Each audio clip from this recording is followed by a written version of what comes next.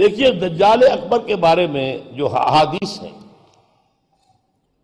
ایک بات تو یہ کہ وہ کانا ہوگا ایک آنکھ سے۔ اس کے ماتھے پر لکھا ہوا ہوگا، کافارا۔ ہر مومن پڑھ لے گا، چاہے پڑھا لکھا ہو یا نہ ہو۔ وہ خدائی کا دعویٰ کرے گا اور اس کی قوتیں کتنی ہوں گی، ذرا نوٹ کیجیے۔ لا تضا کریتن اللہ فی اربعین لیلتن مسلم شریف کی روایت ہے۔ پوری دنیا میں ایک ایک بستی کے اندر وہ گھوم جائے گا صرف چالیس دنوں میں۔ کیسی سواری اس کے پاس ہوگی؟ کیسی صورت والی سواری ہوگی؟ اب تو کچھ اندازہ ہے نا آخر ہماری فضا میں ظاہر بات ہے، ہمارے ہوائی جہاز چوبیس گھنٹے میں گزر سکتے ہیں، مشرق سے مغرب تک۔ نمبر دو اس کے دو کانوں کے مابین اسی ہاتھ اسی گز کا یا اسی ہاتھ کا فاصلہ ہو۔ اس کے گدھے کی ماں بہن حافظ ہمارے ہی حافظ آخر مسیرت و یوم و اس کے گدھے کی ایک قدم اور دوسرے قدم کے درمیان ایک دن رات کے سفر کی مسافت ہوگی۔ اب ظاہر بات ہے اس کا گدھا کون ہے؟ آج۔ ہوائی جہاز۔ یونادی میں سو لہو یسما ماں بین الخافقین۔ کنز المال میں بھی ہے مستد احمد بھی حدیث ہے۔ وہ آواز دے گا ایک ایسی آواز سے جس سے مشرق اور مغرب کے درمیان سب لوگ سنیں گے۔ ہو گیا کہ نہیں؟ بش کی تقریر سب سنیں گے نہیں؟ سخرت لہو انہار الارض واسارا یا مر سما فتم کرو والارض فتم تم بے تو اس کے لیے تمام دریا اور پوری زمین سخر کر دی جائے گی۔ وہ جب حکم دے گا، آسمان کو بارش پائے گا۔ مادر ذات اندھے اکمہا، اس کو ٹھیک کرے گا۔ کوڑی کو ٹھیک کرے گا۔ یہ حضرت عیسیٰ والے بوجھتے ہیں۔ یوجل موتا مردوں کو زندہ آج جو ہے کلوننگ اس جگہ تک پہنچ چکی ہے کہ آپ کے والد کی قبر سے لاش میں سے کوئی تھوڑا سا ٹکڑا نکال کر والد بنائے جا سکتے ہیں۔ یہ دوسری بات ہے کہ ابھی بحث چل رہی ہے۔ ہیومن کلوننگ کی کھلی اجازت نہیں دی جا رہی۔ لیکن آ گیا ایک آدمی کو چیر کر دو ٹکڑوں میں بانٹے گا اور پھر زندہ کر دے گا۔ جب آسما ہوں یا جب آسما ہوں شیاتین اللہ صورت منقدمات من الآباء والامہات والاخوان۔ فجاتی آدھم الى ابی ہے واقعی ہے فیقول الستو فلان الست تعارف اس کے ساتھ شیاطین جن کا لشکر لشکر ہوں گے۔ اور ان کی صورتیں وہ بنا دے گا لوگوں کے مرے ہوئے ماں باپ اور بھائیوں کی سی۔ اور وہ آ کر کہیں گے، دیکھو، میں تمہارا باپ نہیں ہوں، پہچانتے نہیں مجھے۔ میں تمہارا بھائی نہیں ہوں، پہچانتے نہیں ہوں مجھے۔ ارے، میں تمہاری ماں نہیں ہوں، پہچانتے نہیں ہوں یہ خدا ہے، اس کو کرو سکتا عام کفر و الحاد اور ایک بات جو سب سے اہم ہے جو آج شروع ہو چکی ہے اور میں تفصیل بیان کر چکا ہوں کائرو کانفرنس اور بیجنگ کانفرنس اور بیجنگ پلس فائیو کانفرنس اور وہ بھی یونائٹڈ نیشنز کے تحت۔ آخر جو، آخر میں یخرج الہ النساء، آخر میں جو اس کی پیروی کے لیے نکلے گی گھروں سے وہ عورتیں ہوں گی۔ حتیٰ ان رجل لیرجع الى امه وابنته واخته وعمته فیوسفها یہاں تک کہ ایک بندہ مومن جائے گا دوڑ کر اپنے گھروں میں، اپنی ماں کو، بہن کو، بیٹی کو، بیوی کو باندھ باندھ کر جکڑ کر رکھنے کی کوشش کرے گا اور وہ رسیاں توڑا کر اس دجال کے پیچھے بھاگے گا۔ وہ نقشہ ہے آج۔ ایک حکم پر یہ شیطان مشرف جو ہے ہمارے ہاں تیس فیصد سیٹیں سب عورتوں کے لیے مقرر کر دیں بھائی، امریکہ تک میں نہیں ہے۔ تو ان کی پیروی کر رہے ہو، وہاں بھی نہیں ہے۔ یہ ہم ان سے بڑھ کر ان کے مقاصد کی تکمیل میں ان سے آگے جا رہے ہیں۔ اب دیکھتے دیکھتے ہماری بات کو دیکھ کر انڈیا کے اندر بھی آیا ہے کہ تھرٹی پرسینٹ سیٹیں سب کی جو ہے خاص کر دی جائے عورتوں کے لیے۔ وہاں وہ نہیں ہو پا رہا۔ جمہوری حکومت ہے، اختلافات ہو رہے ہیں، ابھی بحثیں چل رہی ہیں اور یہاں کیا تھا؟ مشرف، ایک حکم اور کوئی نہیں بولا، کوئی مذہبی لیڈر نہیں بولا، یہ کیا کر رہے ہو؟ کوئی سیاسی لیڈر نہیں بولا، کیا کر رہے ہو یہ؟ ان کی گھر میں سیاست پڑ چکی ہے۔ خطرہ یہ تھا کہ ہم نے اگر ایسی کوئی بات کی تو یہ الیکشن پوسٹ پون کر دے گا۔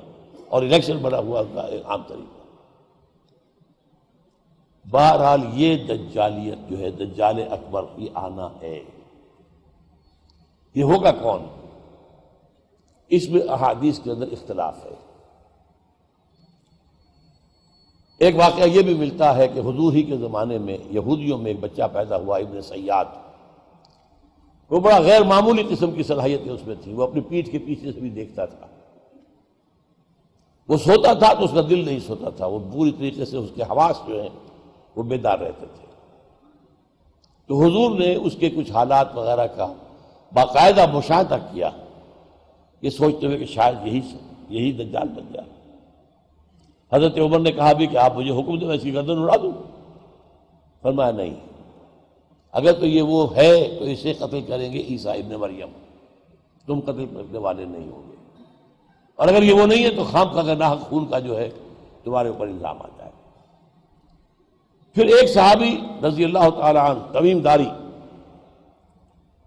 وہ عیسائی تھے، اسلام لائے تھے۔ وہ کسی بحری سفر پر گئے۔ تو طوفان جو ہے ان کے جہاز کو لے کر ادھر ادھر کئی ایک مہینے تک اس سے بھی زیادہ موج ادھر لے گئی پھر ادھر لے گئی پھر ادھر لے گئی۔ حتیٰ کہ ایک جزیرے میں جا کے ان کا اترنا ہو گیا۔ وہاں کوئی نہیں تھا۔ غیر آباد۔ اندر کچھ گئے تو انہیں ایک عجیب سی مخلوق نظر آئی، جساسا۔ کہ نہ اس کا پتہ چلتا تھا، منہ کدھر ہے، دم کدھر ہے۔ اس نے کہا تم کیا کرنے آئے ہو؟ دیکھو فلاں سومرا ہے، ذرا ادھر جاؤ۔ گھنا جنگل ہے، وہاں جو ہے ایک سومرا ہے، چرچ ہے۔ اس میں ایک آدمی تمہارا انتظار کر رہا جاؤ۔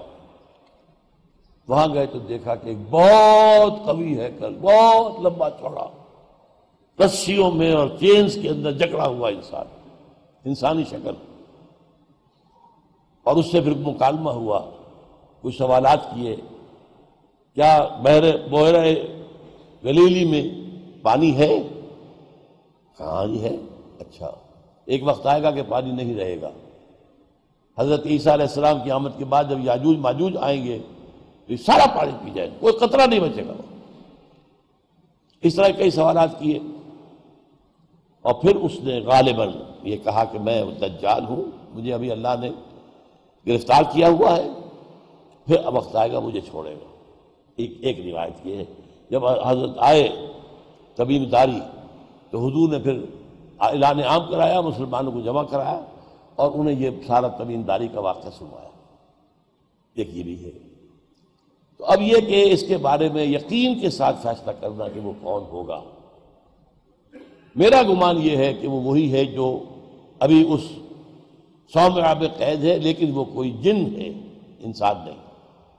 عزازیل جو شیطان لعین ہے، اس کا کوئی بڑا جنرل ہے، جو کہ آخری وقت میں، آخری امتحان کے لیے انسانوں کے اللہ تعالیٰ کی طرف سے اس کو چھوٹ دی جائے گی۔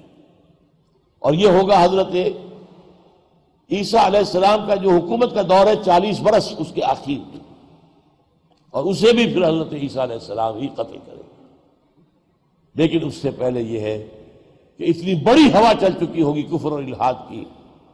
اور جو جو ہے زوال آ چکا ہوگا کہ پھر حضرت عیسیٰ کا انتقال ہونے کے بعد، کچھ ہی عرصے کے بعد، اللہ تعالیٰ خاص ہوا بھیجے گا کہ جن کے دل میں بھی ایمان ہے، ان کی جانیں بڑی آسانی سے سہولت سے نکل جائے گی۔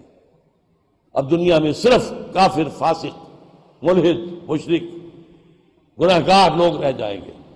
ان پر قیامت کی ہولناک جو زلزلہ ہے یا ایوہ الناس اتقوا ربکم من زلزلت الساعت شیء عظیم یوم ترونها تذهل كل مرضعة عما ارضعت وتضع كل ذات حمل حملها وہ ترنا سا سکارا وما ہوں بے یہ جو سختیاں ہیں، یہ کفار پر آئیں گی، اہل ایمان پر نہیں آئیں گی۔ اب یہ ہے میرے اور آپ کے لیے، انفرادی سطح پر تو فیصلہ کیجیے، ہم اپنے اندر سے دجال کو نکالیں۔ محبت اللہ سے دنیا سے نہیں۔ طلب آخرت کی، دنیا کی نہیں۔ فکر روح کی، جسم کی بھی کرو، لیکن اس کی اولن کرو۔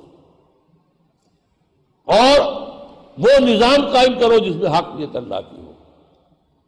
جس کے معاشی نظام میں سے سود اور جوئے کو نکال کر باہر کر دیا گیا ہو۔ معاشرہ وہ ہو جس میں عفت و عصمت کی ویلیوز ہو شرم اور حیا کی ویلیوز ہو خاندان کا ادارہ مضبوط ہو، یہ سارا کام اجتماعی سطح پر۔ اور خود اپنے ایمان کو اتنا مضبوط کرو کہ اگر ہماری اپنی زندگی میں وہ دجال اکبر کے آنے کا وقت ہو جائے، تو ہم اس کی سختیوں کو جھیل سکیں، برداشت کر سکیں، ان امتحانات میں سے گزر سکیں اور ایمان کے اوپر ثابت قدم رہ سکیں۔ اللہ تعالی ہمارا مددگار ہو۔ اقول قولی حاضہ وصطفر اللہ علی ولکم ولسائر المسلمین والمسلمات.